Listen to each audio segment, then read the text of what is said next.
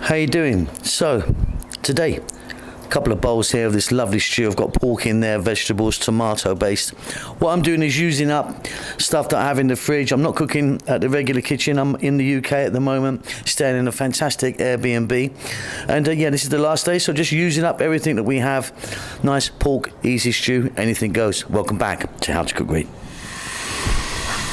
So probably best that you use a large pot or something like that. But I'm using this wok, as I said just at the beginning. I'm on the road at the moment, so I'm staying in an Airbnb using what they have, so not at the usual kitchen.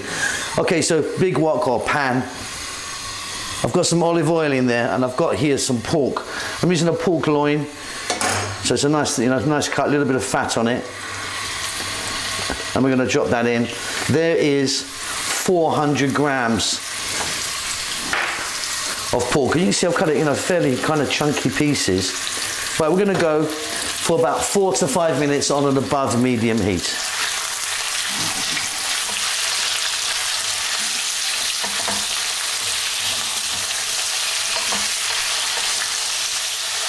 So got a nice little bit of colour on there. We're now going to add in one onion, chunky cuts. I'm using a white one. And we're going to go again for about another three or four minutes.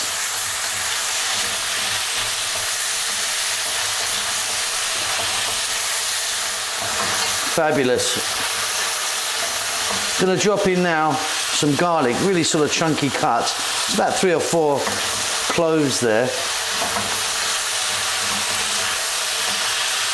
And got a couple of chunky cut potatoes another three minutes.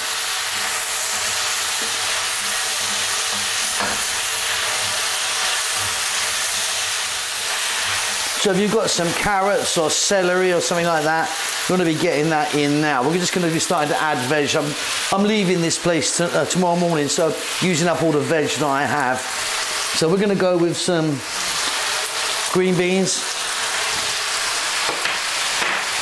I'm then going to add some salt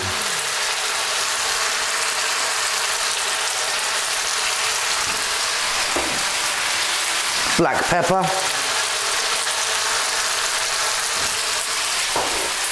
I've got some dried oregano. Gonna go like a teaspoon or two teaspoons. And I've got some smoked paprika. Again, gonna go like two teaspoons of that, really delicious. But think about, you know, thyme, basil, chili, if you want, you know, something like that. Okay, another three minutes keeping it moving. This is going to be fantastic.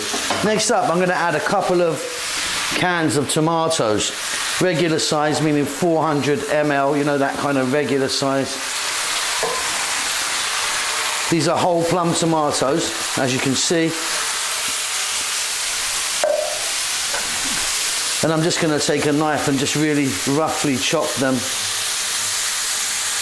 we're going to stay on this above medium heat, so it's fairly lively as you can hear.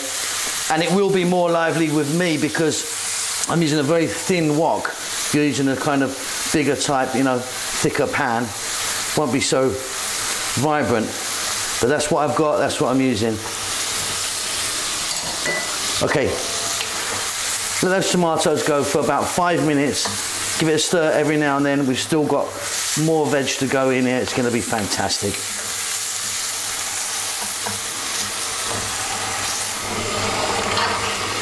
That's looking great.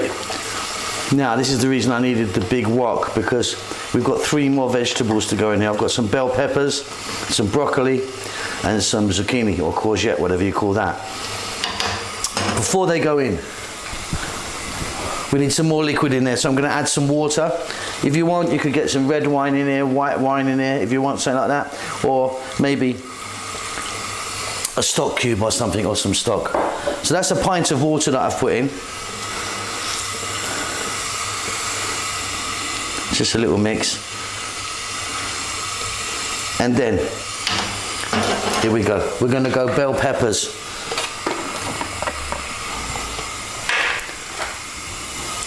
Broccoli, I'll leave all the um, amounts below in the text.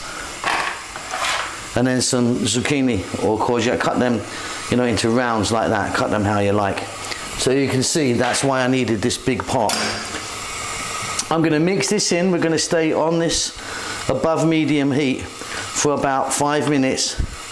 Then I'm going to drop it down and let it go for maybe another five or six minutes. Give it a stir every now and then. Check your potatoes, that's what you want. If your potatoes are done, everything else is done. I'll see you then.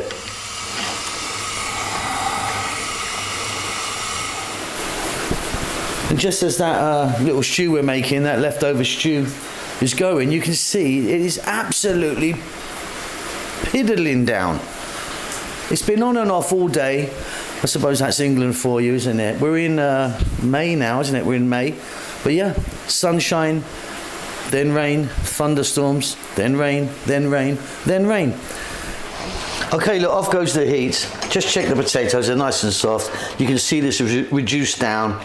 And we've got ourselves a lovely stew for tonight to eat with some nice crusty bread. I've got a sort of baguette here or something like that.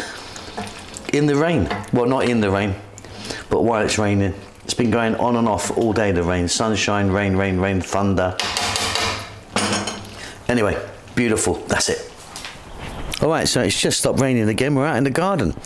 Two lovely big bowls of steaming hot stew there. One for me and one for my mate Simon, who's been jo joining me on this whole trip that I've been on. It's been fabulous. So that's it for me from England, I think. I think, um, yeah, I won't be cooking before I go back. A couple more days heading back to London tomorrow. Then I'm back to the sandpit.